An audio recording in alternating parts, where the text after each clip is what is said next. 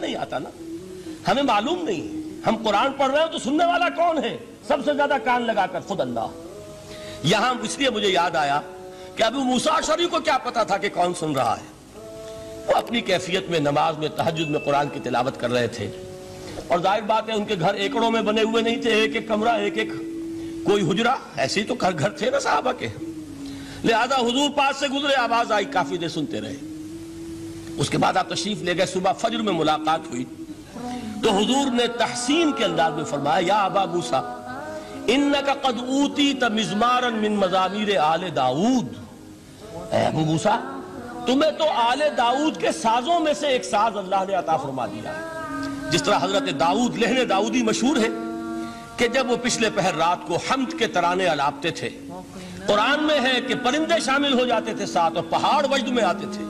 पहाड़ भी उनके साथ शरीक होते थे। तो जिस तरह का अल्लाह ने उनको लहन अता फरमाया था, हुजूर ने तहसीन के अंदाज में फरमाया है, अबू मूसा शरीफ अल्लाह ने तुम्हें भी आले दाऊद के साजों में से एक साज अता फरमाया। बहरहाल, कुरान मजीद का जो ये म्यूज़िक है, कुरान के अल्फाज का जो हुस्न है, जहाँ तक हुस्न मानवी है, वो तो हर हर लफ्ज में है। लेकिन ये हुसन जाहिरी, हुस्न सौती, हुस्न लफ्जी, ये अपने क्लाइमेक्स पर आपको नज़र आएगा सूरह रहमान में। लेकिन कुरान में यह सूरत इस एतबार से भी मुमताज़ है। इसकी चार आयात पर जरा तवज्जो करेंगे, अजीब हकाइक सामने आएँगे। जहाँ ये कुरान मजीद के हुसन सौत और हुसन लफ्जी का की मेराज है, वहीं इसकी पहली चार आयात में चार चोटी की चीज़ों का ज़िक्र है। सबसे ऊँची चीज़ है। पहली आयत क्या है? अर रहमान एक आयत हो गई। रहमान क्या है? अल्लाह का नाम है। कभी आपने गौर किया अल्लाह के नामों में सबसे प्यारा नाम कौन सा होगा? रहमान। क्यों? इसका मादा क्या है? रहमत। हमें सबसे बढ़कर जिस चीज़ की ज़रूरत है वो क्या है? रहमत खुदाबंदी। नाम अच्छी तरह सुन लीजिए इस हुजूर के कौल को। हुजूर फरमाते, कोई शख्स जन्नत में मुजर्रद अपने अमल की बुनियाद पर दाखिल नहीं हो सकेगा, जब तक कि रहमत खुदाबंदी दस्तगिरी न करे। किसी सहाबी ने बड़ी हिम्मत और ज़रूरत का सबूत दिया कि पूछ लिया, क्या हुजूर, आप भी?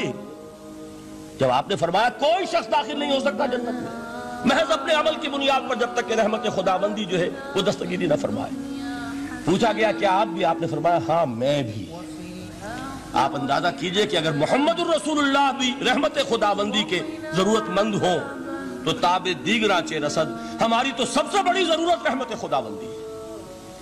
अब ये रहमत जो है कुरान मजीद में अल्लाह ताला की ये शान दो अल्फाज के ज़रिए से आती है, रहीम और रहमान। और कोई मादा नहीं है जिससे दो नाम बनते हो अल्लाह के। लेकिन यह मादा है वाहिद रहमत का, कि जिससे रहमान भी है, रहीम भी है। रहीम सिफत मुशब्बा है रहमत दाइम हो जाएगी। मुस्तकिल होगी तो रहीम कहेंगे। और रहमान, इसमें रहमत की है वो शान है कि जैसे ठाठे मारता हुआ समंदर हो।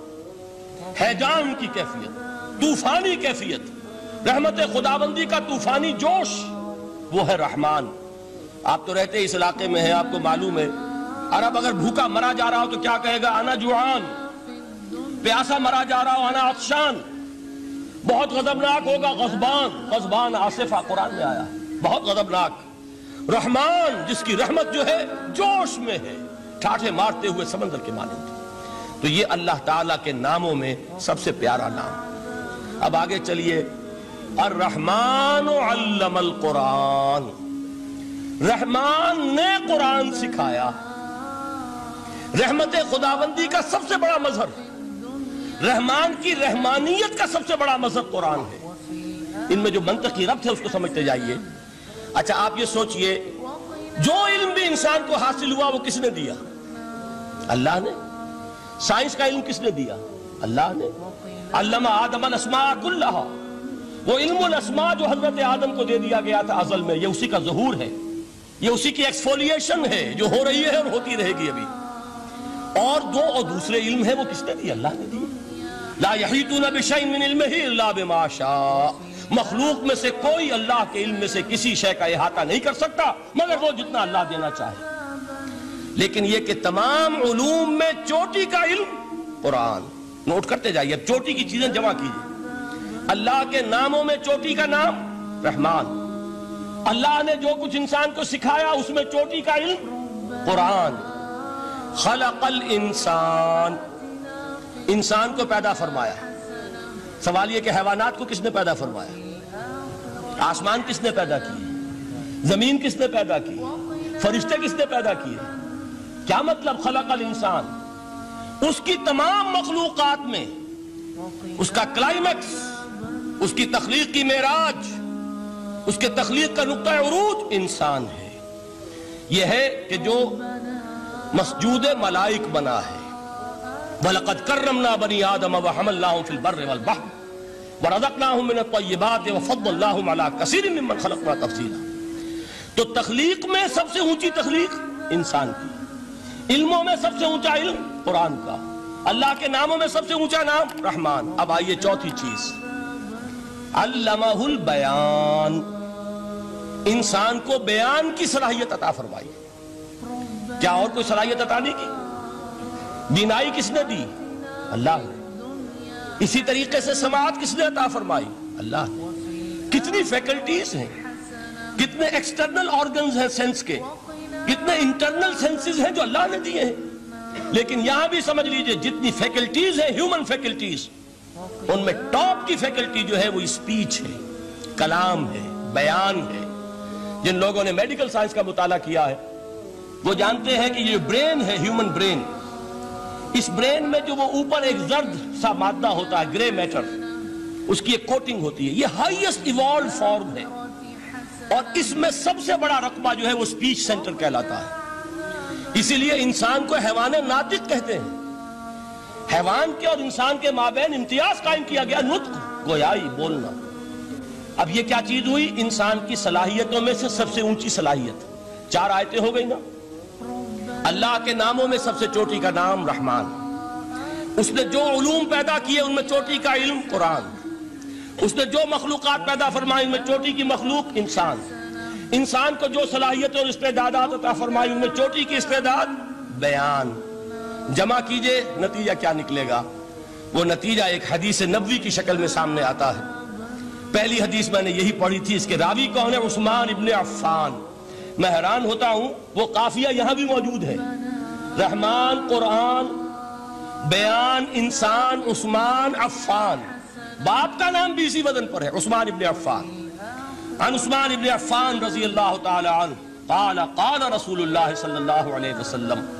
हज़रत उस्मान शहीद मजलूम जुन्नूरैन रज़ी अल्लाह फरमाते हैं कि अल्लाह के रसूल सल्लल्लाहु अलैहि वसल्लम ने फरमाया, खैरुकुम तुम में से बेहतरीन लोग वो हैं जो कुरान सीखें और सिखाएँ। कुव्वत बयान, जो तुम्हारी टॉप फैकल्टी है, इसका इस्तेमाल किसी घटिया काम के लिए नहीं होना चाहिए। देखिए, उर्दू में मुहावरा है कि तोप से मक्खी नहीं मारी जाती। तोप बनाई गई है किसी बड़ी शय के लिए। मक्खी मारने के लिए तोप इस्तेमाल नहीं होती। ये कुत बयान जो है जो टॉप मोस्ट फैकल्टी है ह्यूमन जो फैकल्टीज है उनमें से, इसका इस्तेमाल भी टॉप मोस्ट होना चाहिए। कुरान को बयान करो। वो जैसे कि अल्लामा इकबाल ने कहा है, बल्कि गालिबन उनके कब्र पर आसपास जो अशार लिखे हुए उनमें से एक ये भी है। अगर यह कतरा खूंदारी अगर मुश्ते परेदारी, बेआबामन तो आमोजम तरीके शाहबाजी रा अगर तुम्हारे अंदर एक कतरा भी खून का है और मुट्ठी भर भी पर अगर अल्लाह ने दिए हैं तो है। मेरे पास आओ कि मैं तुम्हें शाहबाजी के तरीके सिखाऊं। इसी तरह जान लीजिए, अगर अल्लाह ने कुत गोयाई अता फरमाई, अगर अल्लाह ने तुम्हें हैवान नातिक बनाया, अगर अल्लाह ताला ने तुम्हें यह सलाहियत अता फरमाई, इस सलाहियत का मसरफ दुनिया को ना बनाओ, इस सलाहियत का मसरफ अल्लाह के कलाम को फैलाने पर इसको सर्व करो।